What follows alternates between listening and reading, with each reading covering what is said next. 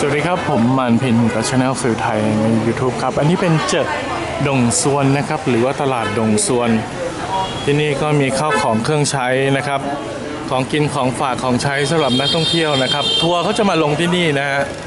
มาพามาดูด้านหน้านะฮะกลางคืนช่วงเสาร์อาทิตย์เนี่ยเขาจะมีอะไรนะครับ มีของขายเป็นถนนคนเดินตรงนี้ยาวมานะฮะนี่เป็นด้านหน้านะ กลางวันนี่ก็ไปเป็นที่ลงนะครับ ทัวร์เขาชอบพามาลงที่นี่นะฮะเพราะว่าซื้อของสะดวกสำหรับคนที่มากับทัวร์นะฮะนักท่องเที่ยวทั่วไปก็มาซื้อของได้ แต่ว่าก็ต้องต่อกันหน่อยนะครับ อันนี้เป็นเรื่องปกตินะฮะเปรียบเทียบก็ประมาณาในบาซ่าตลาดวัดโลรถหรืออะไรพวกอย่างนั้นนะครับนะฮะข้าวของเครื่องใช้ต่างๆ มากมายนะครับ เดินมาตรงกลางจะมีน้ำพุ tên của nó thì nó mới mua bảy cái ตลาดแห่งนี้เคยมีไฟไหม้ใหญ่นะครับ ตอนหลังเขาก็เลยนานมาแล้วครับอันนี้ไม่ใช่ไม่ใช่สมัยที่ยังท่องเที่ยว สมัยที่เวียดนามยังไม่เปิด แล้วก็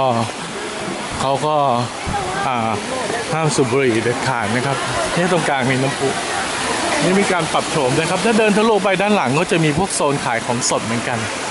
นะฮะชั้นบนก็มีนะฮะแต่เป็นพวกผ้าพวกอะไรเงี้ยครับ แล้วแต่ความสนใจนะครับ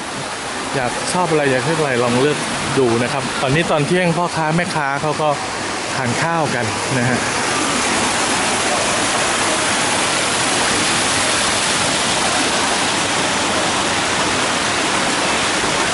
ครับก็เก็บบรรยากาศมาฝากกันนะครับ